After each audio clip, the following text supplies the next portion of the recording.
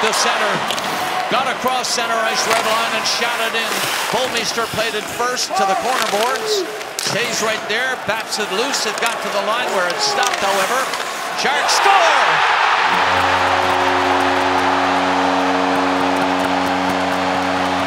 Right from the blue line. Impersonation, that automatic pressure relief, when in doubt, the Sharks throw it up the wall. Brent Burns takes his time, gets it down, and there it is. Beautiful touch. Alex Pietrangelo again caught fronting the puck, not tying up the stick. Electing to try to block the shot against by him, but Ward with the good stick. No chance for Brian Elliott. No, a tough one on Elliott, no question. The first goal at 357 was in.